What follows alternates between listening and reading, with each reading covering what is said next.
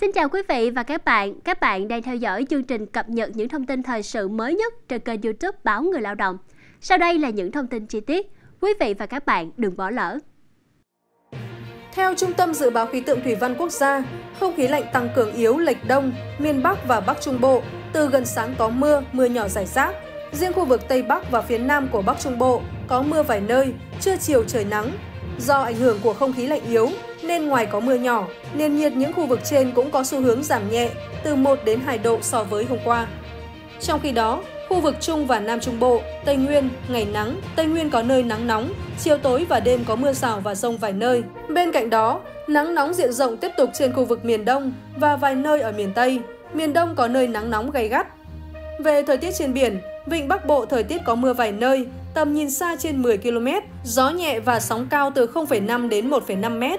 Thời tiết quần đảo Hoàng Sa không mưa, tầm nhìn xa trên 10 km, gió đông đến đông bắc cấp 4, sóng cao từ 0,5 đến 1,5 m. Quần đảo Trường Sa có mưa rào vài nơi, tầm nhìn xa trên 10 km, gió đông đến đông bắc cấp 4 5, sóng cao từ 1 đến 2 m. Sau đây là dự báo thời tiết cho các vùng trên cả nước.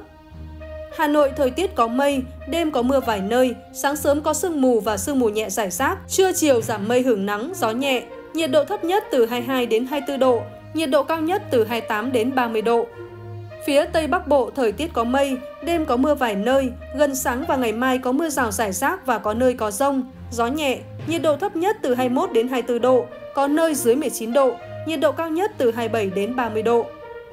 Phía Đông Bắc Bộ có mây, đêm có mưa vài nơi, sáng sớm có sương mù và sương mù nhẹ rải rác, trưa chiều trời nắng, riêng đồng bằng ven biển, đêm và sáng có mưa, mưa nhỏ rải rác, gió nhẹ, nhiệt độ thấp nhất từ 20 đến 23 độ, nhiệt độ cao nhất từ 27 đến 30 độ.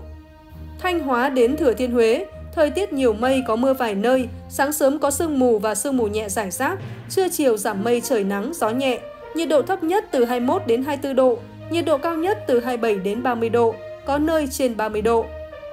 Đà Nẵng đến Bình Thuận thời tiết có mây, đêm không mưa, ngày nắng, gió đông đến đông nam cấp 2, 3, nhiệt độ thấp nhất từ 23 đến 26 độ, nhiệt độ cao nhất từ 31 đến 34 độ.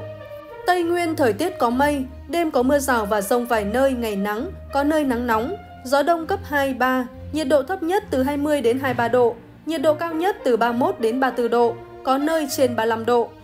Nam Bộ có mây, đêm có mưa rào và rông vài nơi, ngày nắng nóng, gió đông đến đông nam cấp 2, 3, nhiệt độ thấp nhất từ 24 đến 27 độ, nhiệt độ cao nhất từ 35 đến 37 độ, có nơi trên 37 độ.